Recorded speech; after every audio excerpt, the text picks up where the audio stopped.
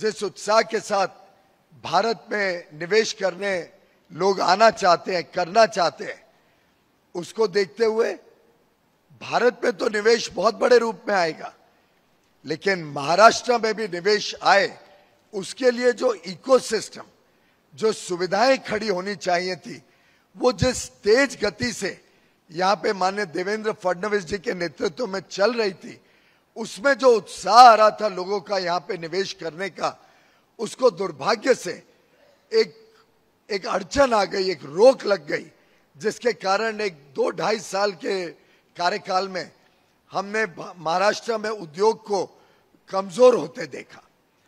मैं अभी अभी उनको याद दिला रहा था, उनको भी शायद याद नहीं होगा।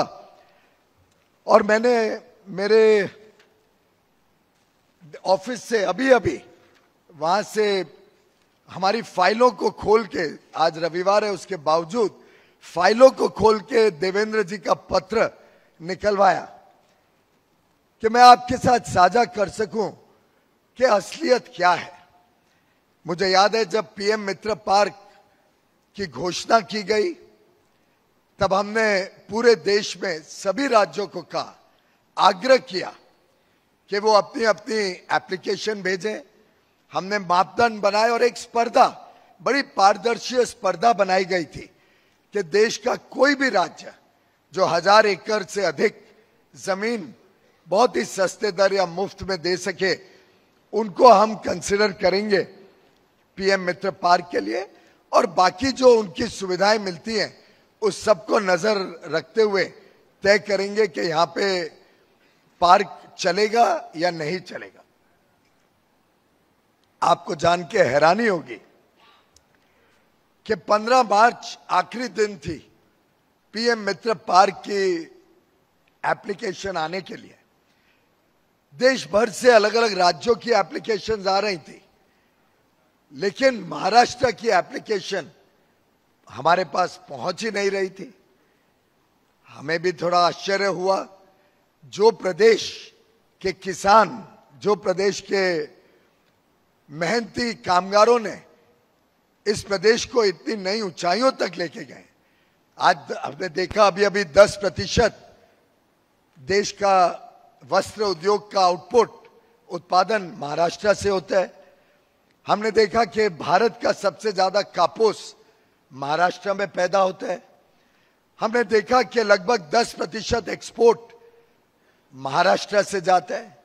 यहाँ पे बिजली है, पानी है, खासतौर पे अमरावती में कापूस का बहुत बड़ा उत्पादन होता है। यहाँ पोर्ट है, हाईवे, रोड, रेलवे सबकी इंफ्रास्ट्रक्चर्स हैं। उसके बावजूद आखिरी दिन आते आते यहाँ एप्लीकेशन ही नहीं आ रही थी। फिर मैंने जब Devendra Fadnavis ji leader of the opposition थे उनसे दरख्वास्त की। तो उन्होंने यहाँ पे जब हल्ला मचाया, उन्होंने जब यहाँ पे डिमांड की कि महाराष्ट्र ने टेक्सटाइल पार्क के लिए अप्लाई करना चाहिए तो आखिरी क्षणों में, भाइयों बहनों, आखिरी क्षणों में लास्ट मोमेंट पर यह एप्लीकेशन महाराष्ट्र की केंद्र सरकार के पास पहुँची।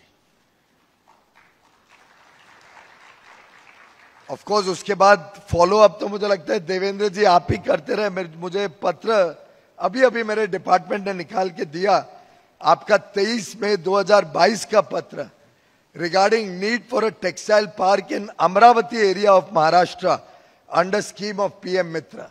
ये देवेंद्र फडणवीस ने लीडर ऑफ़ ऑपोजिशन के नाते मुझे पत्र लिखा और डिमांड किया कि अमरावती में पार्क बनाया जाए उसमें पूरा परिपेक्ष दिया है क्यों महाराष्ट्र में पार्क होना चाहिए।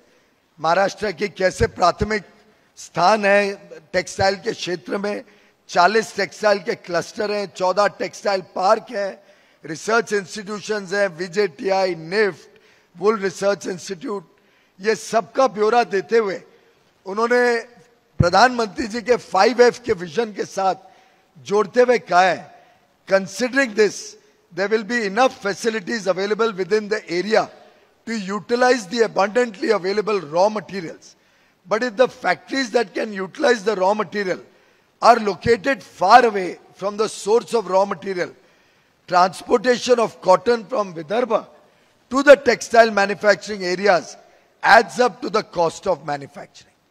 यही तो है प्रधानमंत्री मोदी जी का विजन फाइव एफ विजन क्या है कि जहां रॉ मटेरियल मिलता है, वहीं पे फार्म से फाइबर की तरफ़ जाए फाइबर वहीं बनेगा और फैब्रिक उधर ही होगा तो स्वाभाविक रूप से फ़ैशन तो मुंबई और महाराष्ट्र की अपने आप में देन है।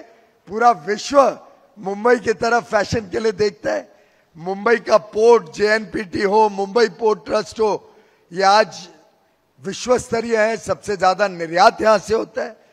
तो महाराष्ट्र तो एक ऐसा प्रदेश है, जहाँ फार्म भी है, फाइबर भी है, फैब्रिक भी है, फ़ैशन भी है और फॉरेन तक जाने की संभावनाएँ भी हैं। उसके बाद it is a natural choice for PM Mitra park और इसीलिए इन्होंने कहा है keeping all this in consideration I had proposed a textile park near Amravati when I was at the helm of the state. Right since then, I have always been vociferous with the demand for such a textile park at every relevant forum. Now the time has arrived and a textile park is the need of the hour.